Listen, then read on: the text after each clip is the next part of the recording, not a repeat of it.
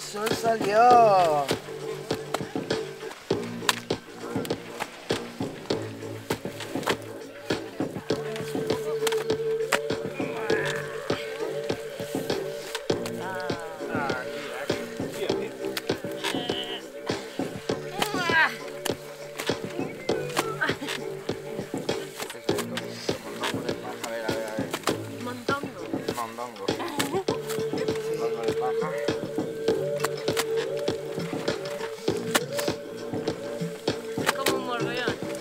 Bueno, soy Jaime y, vengo de criarme en Madrid, en la ciudad, pero eh, llevo ya como seis años viviendo en un pueblo y cuatro en Asturias, que es de donde vengo. De, concretamente de unos años atrás de rehabilitar un pueblo. Un pueblo abandonado, volver a construirlo y darle vida. La tuviste a los 16 años, un poco con esta manera de vivir, de pensar, de consumir. Sí, eh, bueno, para mí fue muy muy sencillo porque, porque vivía en la ciudad pero cerca del bosque y era muy sencillo darse cuenta que, que estabas en el bosque y escuchabas pajaritos y respirabas aire mucho mejor que estar en la ciudad, con prisas. A mí siempre me dio mucha prisa vivir en la ciudad, siempre iba corriendo para todos lados. ¿Por qué? Porque no quería vivir en ella, no por otra cosa. No era tanto por contagiarme de la ciudad, sino porque mm, como no quieres estar en ella, vas lo más rápido posible para no estar enredado con ella. Comprendo. A ti te tiraban más los árboles que el skyline de Madrid, ¿no? Sí, muchísimo más y es un entorno más libre, más, te sientes más a gusto en, en ello, no estás tan controlado.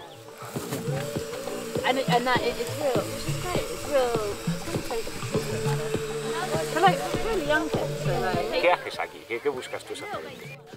Eh, poder tener conocimiento de las cosas más básicas, ¿no? Si viviésemos en el Amazonas con una chocina nos valdría, pero aquí necesitamos construir algo un poco más, más cómodo, ¿no?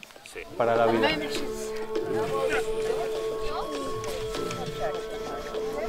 Por ser rural no tienes por qué ducharte con agua fría, por qué, por qué comer solo patata, eh, arroz y tres cosas más. No es sinónimo de pobreza, como a lo mejor creo que es por ahí por donde iban mis abuelos. ¿no? La autosuficiencia. La autosuficiencia que es incomprensible sin la comunidad.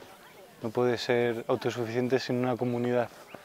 Y esto una un poco esas dos cosas, ¿no? Porque esta casa hacerla tú solo no puedes directamente. Te manchan todo el rato, me cacho. Por favor, intentad no mancharos. No os manchéis. Pues nosotros instalamos las balas de paja pre-revocadas. Eso que llama French Dip, el modelo, ¿no? que es como el, el dipping de, de los croissants ahí en el café, pues que es sumergir la bala de paja de cierta forma, sin que se moje, tiene su técnica en barbotina. Eso hace que la bala de paja absorba un montón de, barbotina y que quede una capa de imprimación, o sea, como una preparación para el revoco, sobre una bala de paja comprimida, pues muy estable y muy, muy potente. ¿no? Sobre eso aplicamos un revoco base que, que puede tener unos espesores muy grandes porque es un revoco que está fermentado con heno, con materias vegetales, es agradable también su olor. eh, y, buscamos ahí nuestra fórmula estructural con arena para mejorar nuestra tierra, depende qué tierra tengamos en cada sitio. Son revocos muy fibrosos que dan mucha, mucha unidad y lo hacemos de una.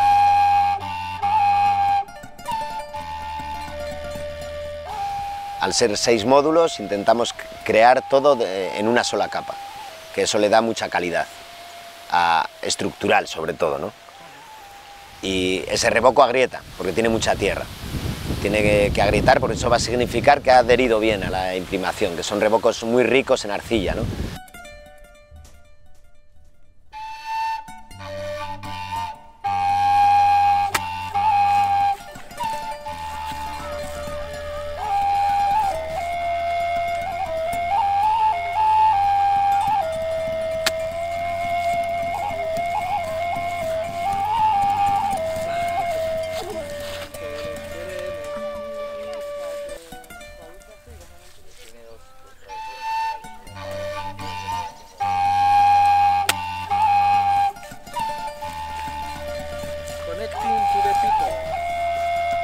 Vamos a concentrar ahora en ese muro y en este, ¿vale? Aquí arriba cabemos cuatro, más o menos.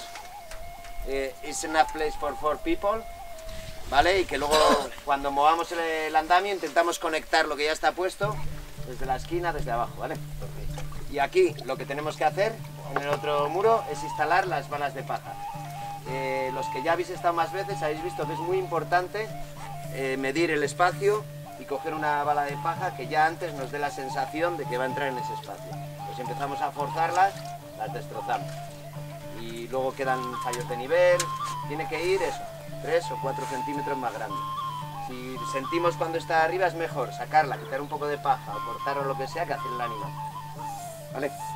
Pues eso, vamos a coger una buena medida, por ejemplo, eh, más o menos el tamaño de una teja que nos va a servir de mampara. 18. Que son unos 33 centímetros. 33 centímetros. 33. 34. 34 centímetros. 31.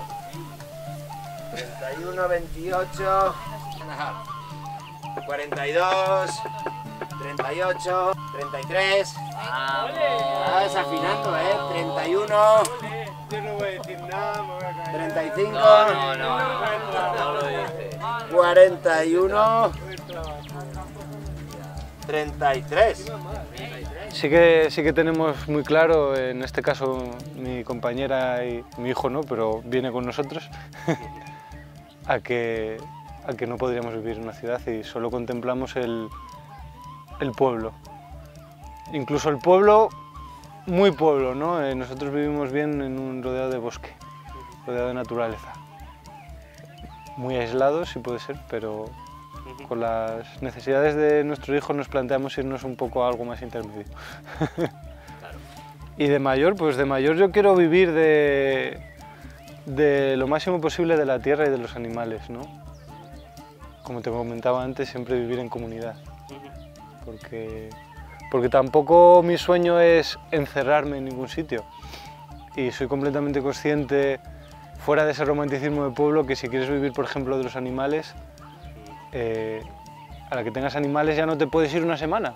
Necesitas a alguien que te ayude, alguien que los atienda y por eso creo que también es necesario la comunidad. Porque también sé que es más difícil, a veces es más difícil, ¿no? El vivir en comunidad no es fácil. Hay que curárselo mucho, mucho, mucho, mucho.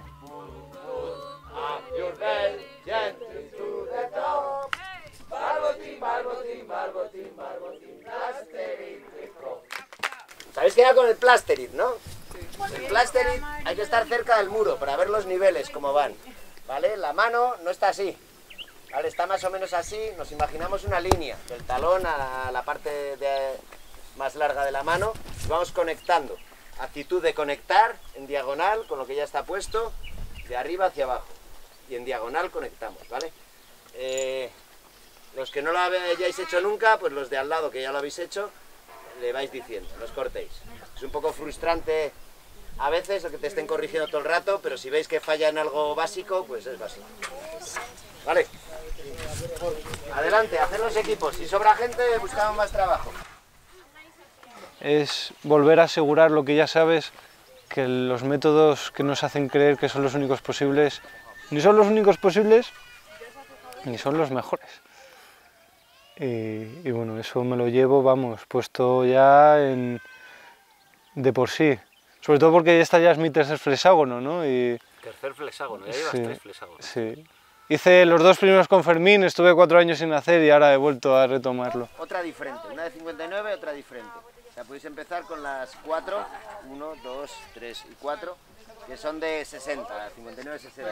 Eh, a cualquiera que no haya entrado en una casa de paja le diría que no lo haga jamás, porque ya no va a querer vivir en otra cosa que no sea una casa de paja y que no lo haga, que si no está seguro de meterse en un tinglado como este, que no lo haga, porque, porque yo desde que construí la primera casa, que fue, fue por estar aburrido y alguien, oye, que hay un, hay un tal, hay un curso, venga, pues me voy para allá. Pues prácticamente cambió mi vida porque cambia tu concepto completo de, de posibilidades y de cómo quieres vivir. Déjalo, venga, no, vamos para One, two, one, two, venga ese equipo. Vamos, ahí vais, ahí vais, vamos. Dios, pero esto es grande. Vale, no lo bajéis, no bajéis todavía. Vale, eh, cuando la fuerza es demasiado pasa esto, ¿no? Que se curva, hay que intentar no romperla, entonces vamos a bajarla de este lado. No es tan importante que esté para afuera o para adentro, porque yo simplemente bajándola ya la puedo colocar. Y si no, agarro los y la coloco donde quiero, ¿vale? Pero lo que sí que es importante es no seguir bajándola de aquí. Para enderezarla, quitarle los clisters, Hacerlo a la misma nivel que me ¿vale? Es bajarla de aquí. Con la familia necesito, ahora estamos en búsqueda de una vivienda, necesito una casa con terreno para poder entrar a vivir y desde ahí formar una base y posiblemente hacer 20, 40, 80 flexágonos, lo que, los que sean posibles, ¿no? Y luego te acuerdas, Jaime, cómo lo hacíamos para que no se cizallara el último día, ¿no? O sea, es Colocar el oplichter a este lado. Vale, perfecto.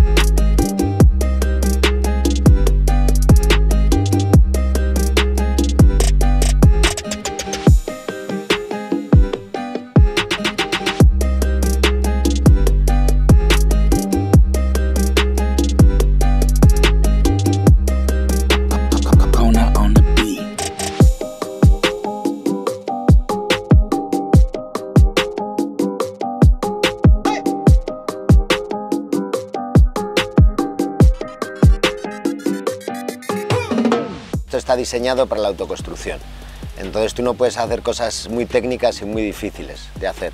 O sea, si tú tienes un entramado ligero de madera de- detrás de la paja, tienes dónde fijar las ventanas y lo puedes hacer a nivel, sin grandes complicaciones. Tampoco son aberturas muy grandes, porque ventanales muy grandes, al final eso acaba que son mucho más caros y que tienes un montón de pérdidas. Porque, eh, yo que sé, una ventana de un metro y medio cuadrado de calidad te puede valer mil euros. Eh, también en el chino las hay por 150, en el Leroy Merlin o lo que sea, ¿no? Incluso podrías fabricarlas tú, pero tú puedes asumir esos costes con ventanas más o menos pequeñas. Y al final una ventana que se abre es para, para ventilar. Un botellero donde podemos meter botellas, o aquí, por lo menos en el medio. Voy a intentar meter eh, troncos de madera. también. Tengo madera de olmo, de peral, de cerezo, así bonita, que pintada queda muy bonita también. Y, vamos a intentar, igual que es la botella es de 40, pues hacemos un tronco de madera de 40 y lo metemos de la misma. ¿Vale? Se puede meter un garrafón, que queda muy bonito. Eh, los cristales fijos, por ejemplo, que son otro tipo de cerramientos, te salen gratis. Porque ahora mismo, en este mundo que todo el mundo cambia las ventanas de aluminio por las de PVC, luego vuelve a poner de aluminio, pues esos cristales están son muy fáciles de reutilizar de otras obras, ¿no? Y normalmente puedes adaptar la casa al tamaño de los cristales que tienes, ¿no?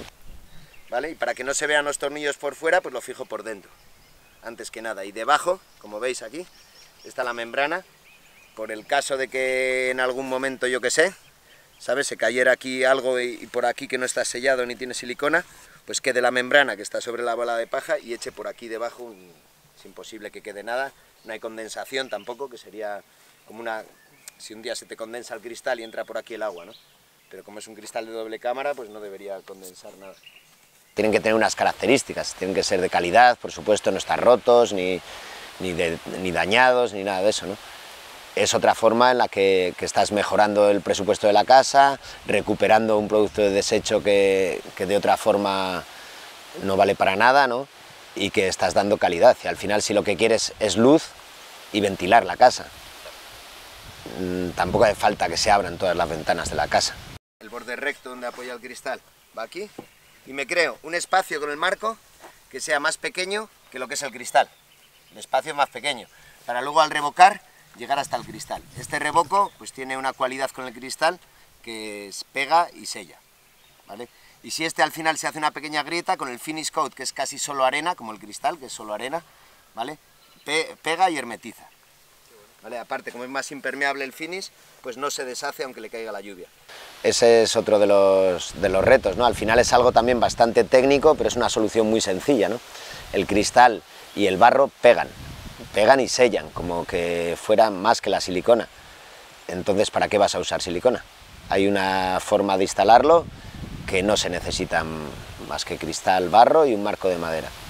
Entonces, si tú llegas a esa solución, porque, porque Tom encontró una solución buena que funciona y nosotros estamos eh, siguiendo con esa solución, dando nuestros pequeños detalles, haciendo nuestros vierteaguas de una forma o de otra, o utilizando alguna forma para sujetar mientras el revoco los ganchos, todos intentando mejorar y aprender, ¿no?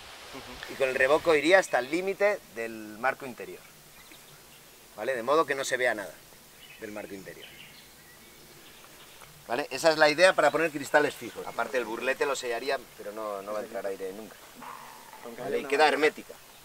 Sea, la ventana, si yo la hubiera puesto aquí en el hueco, este hueco que queda entre la madera y el cristal, habría que poner un junquillo y va a tener siempre pérdidas. El barro la hermetiza aquí, ¿no?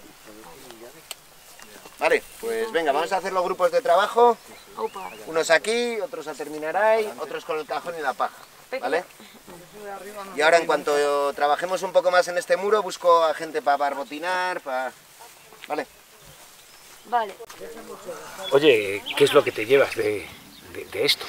Sobre todo mm, amigos, creo que amigos, gente muy, muy cercana, ¿no? Esto, para cualquiera que no haya venido a un sitio de estos, que venga y verá que, que aquí haces uniones con personas que parece que son para toda la vida y que son desde toda la vida, porque es, es muy intenso, muy intenso, 24 horas prácticamente con la misma persona, eh, trabajando. El trabajar y de la forma de la que se trabaja y de la que nos coordina sobre todo, porque al final eh, Fermín está haciendo un buen trabajo en el equipo humano, ¿no? Y la gente lo está sabiendo coger bien, porque es importante. Pues está, yo me llevo gente, gente a la que a la que estoy amando mucho y sé que voy a generar unas uniones muy, muy importantes, ¿no? También también me llevo casi como un hogar, porque al final hacer la casa es como hacer una casa de esto con tus manos, sobre todo conociéndolo, porque bueno, yo me, me dedico en la parte más profesional a hacer casas, pero hacer una casa para una persona que ni ves, mm, ni conoces, ni vas a conocer, no hay sentimiento de hogar. Y esa diferencia, o sea, es que es básica, también es una parte muy importante para generar esa familia. Porque es casi como si estuvieses haciendo tu hogar. ¿Vale? Pero bueno, aquí son dos equipos realmente. Uno colocando los montantes y la columna y otro haciendo las balas de paja, preparándolas. Vamos a intentar también reciclar las que no tengan el dipping. Las que están con dipping han sido desechadas, pues igual hasta las quitamos de ahí. Y ahora, bailamos. La medida que queráis. Venga, libertad, anarquía. ¿Hay vida más allá del sistema? Claro. Por supuesto que sí, es mm, mejor y más.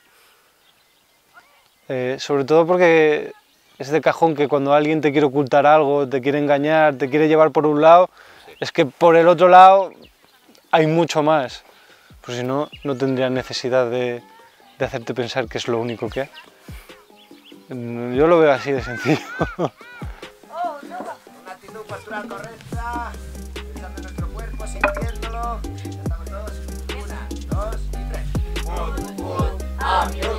Ya estamos todos. Una, dos